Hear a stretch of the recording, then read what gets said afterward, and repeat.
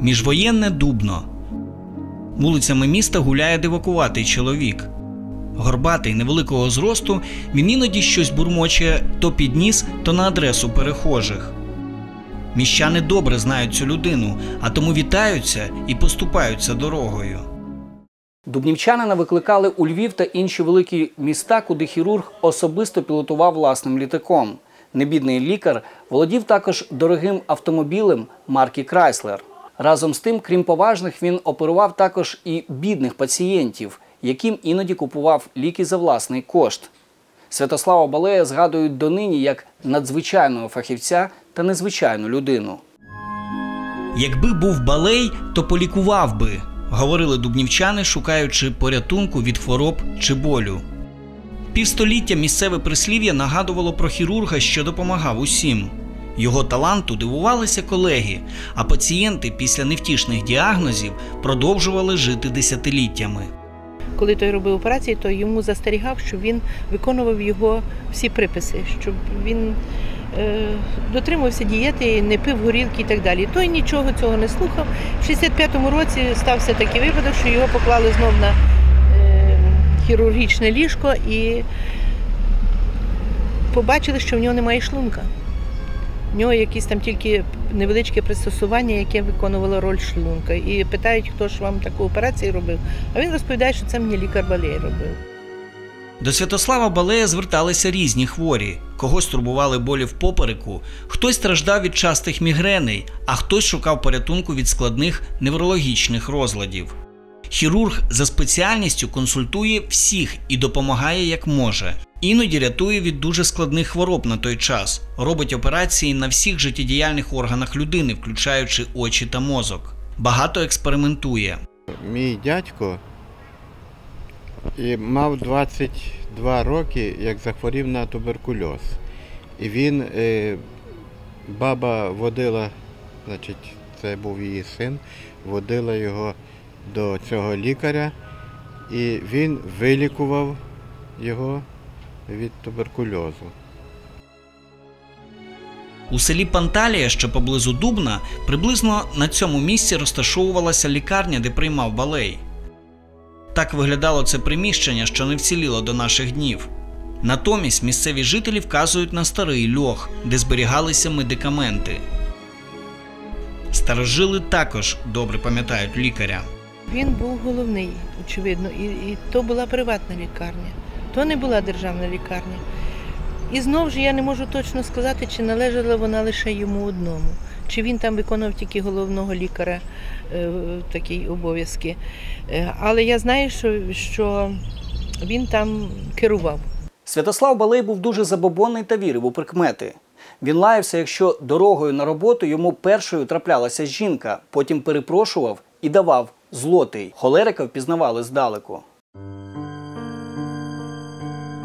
У пориві емоцій лікар навіть міг потягнути ціпком перехожу. Проте все завжди закінчувалося мирно, навіть з технікою, яку балею також доводилося ремонтувати на ходу незвичний спосіб. Автомобіль йому заглох якраз біля старої почти. Він е, вийшов, виняв пістолет, вистрілив мотор і поїхав. Це, це також розповідали люди, що машина поїхала. Напівказкові історії засвідчують тільки одне народну увагу та любов до лікаря. Незважаючи на дивакуватість, балей завжди доброзичливо ставиться до пацієнтів. І одного разу, каже, приїхав, е, прийшов він вечором і подивився, і каже, викликав медсестру і каже, ти не відходь від неї, а я, значить, я в рівне. І жди, жди мене. Поїхав. Він от що він привіз якісь ліки, ну, видно, що е, ліки якісь. І виявилося, що в неї е, були глисти. І то, а її операцію робили на е, апендицит. І воно це не, не заживало. Він не порахувався ні з чим. Він поїхав, він за свої гроші, він з них не взяв ні копійки. Святослав Балей лікує заможних пацієнтів, що проживають далеко від Дубна. До них хірург добирається ось цим дорогим літаком. Цей спортивний літак. е, Він в, січні 39-го року вийшов з конвеєра. А в лютому вже він купив в числі трьох. У нього був свій механік, льотчик був, він сам, правда, водив ще е, е, літак. І цей, щоб обслужити, це потрібні великі гроші. А гроші такі мали багаті пацієнти, які не хотіли їхати в Дубно, а скажімо, в Доброд. Він літав в Доброд і там е, лікував, і йому за все це сплачували. Це були, кажу, великі гроші. Мав він двоє е, на Дубно мало е, автомобілі Крайслер. Це такі теж дорогущі автомобілі. Він мав і ще один з е, власник ливарної такої майстерні. Оповідали, що цим же літаком Святослав Балей терміново відлучається під час операції. Він власноруч його пілотує. Одна жінка лежала на столі, і виявилося, що їй треба потрібна була срібна колінна чашечка. Е, Він залишив її під наглядом і сам полетів до Львова, привіз ту чашечку і поставив ту колінну чашечку в той, в той же день. Святослав Балей один раз на тиждень безкоштовно приймав бідних пацієнтів, ставив діагнози, виписував рецепти та оплачував їх. Ажіотаж був настільки великим, що чергу займали напередодні ввечері, а консультації тривали до пізньої ночі прийомного дня. Півстоліття тому на цій вулиці, приблизно на цьому місці, проживав лікар Балей. Тут періодично створювався балаган на все місто, і тут знаходився рентгенапарат лікаря. Каже їй, нічого у вас, жіночко, немає. Такого то, що ви е, собі запідозрюєте. У вас легені повністю е, здорові і можете не боятись ні за себе, ні за своїх дітей. А вона каже: ви знаєте, доктор, ви напевно мені не кажете правду. Він каже, ну чого ж не кажу правду. «Е, Отдайте свою сумочку. У вас є сумочка? Вона каже, є. Ви знаєте, що там в вашій сумочці? Каже, знаю. Взяв цей просвітлив і каже, ну от подивіться, бачите? Вона каже, подивилась, а там буквально все до самих, як кажуть, е, е, ці. І він їй каже, отак я бачив ваші легені. Він її заспокоїв. І ви знаєте, після того вона себе почала краще почувати, то вона собі навіювала ту хворобу. Сюди до помешкання поляків Велешинських лікар переїхав після операції Антонію у 1932 році, що закінчилася смертю пацієнта. Хірург жодним чином не міг допомогти у запущеному випадку, проте, відчуваючи провину, вирішує опікуватися долею родини. Він не мав ніякої вини перед ними. Він прийшов сюди разом з своїм рентген-кабінетом, той будинок, і е, поставив свій рентген-кабінет, і взагалі кабінет для прийому бідних в нього тут е, вийшов такий. І е, йому сподобалася дуже молода їхня така дівчина.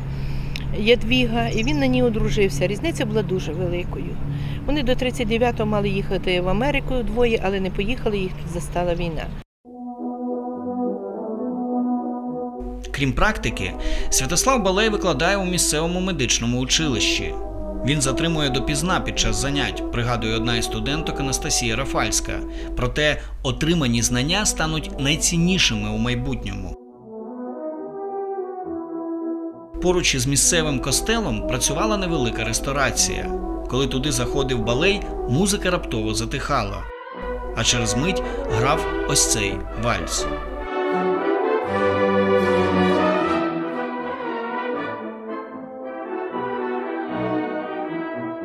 Нині мало відомо про особисте та життя лікаря після Другої світової війни. У 1944 році Святослав Балей залишає Дубно, адже розуміє, що радянська влада не подарує лікарської практики під час окупації. Зібравши всі особисті речі та медичне устаткування, він резервує вагон і разом із родиною переїжджає до Німеччини. Завдяки зусиллям місцевих науковців нині стало дещо відомо про родину Балея. який народився на Тернопільщині в вчительській сім'ї з братом і ще двома сестрами, якого брат видатний психотерапевт. І відомий він був у всій Польщі, тому що освіту він здобув дуже гарно. Так само і Святослав Балей здобув гарну освіту. Тепер ми знаємо, що він навчався у Львівському університеті на лікарському факультеті з 1907 по 1911 рік. І також навчався він десь за кордоном, так як і його брат, у Франції, у Німеччині, в Австрії. Для лікаря шиють спеціальні костюми, аби приховати його горбатість. У 1939 році, коли прийшла радянська влада, він продовжує практикувати і дивувати міщан своїми витівками. приходить до е, лікарні і каже, і каже цей, що він би хотів побачити балея. А цей е, підходить до колонки, якийсь чолов'яга такий трошки рижуватий, середнього зросту, худорлявий, набирає воду у відро. А він каже: пане, скажіть, десь тут такий придуркуватий є лікар, балє, я би хотів його побачити. Бо в мене дуже жінка хвора. Той лікар як розвернувся, як вдарив того чоловіка, той чоловік впав. Потім встав і каже, той чоловік, везіть її в на операційну, цей, операційний стіл, операційну. Завіз. І за свої гроші він полікував ту жінку, Під час війни Святослав Балей залишається у Дубні. Він допомагає всім, хто звертається, а деколи пропадає на декілька днів. Припускають, що у той час хірург допомагав українським підпільникам. Було таке, що він і гетто допомагав е, людям. Одну жінку, навіть цей хлопчина Єжи асистував, він тримав е, тазик, бо тому що е, різав він рану на, гру- на грудях у жінки.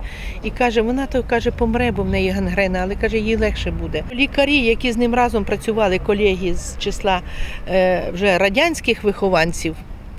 Вони йому заздрили, тому що в нього були новітні методи лікування.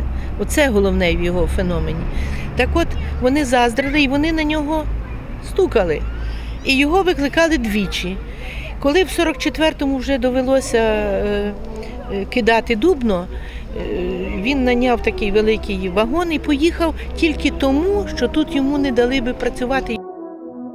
Святослав Балей з родиною виїжджає до Битом'я. Там лікар знайде роботу у місцевому шпиталі.